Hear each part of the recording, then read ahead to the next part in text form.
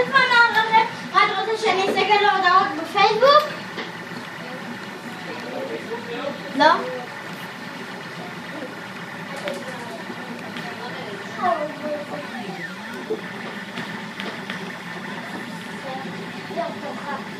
think that's a good one. I think how.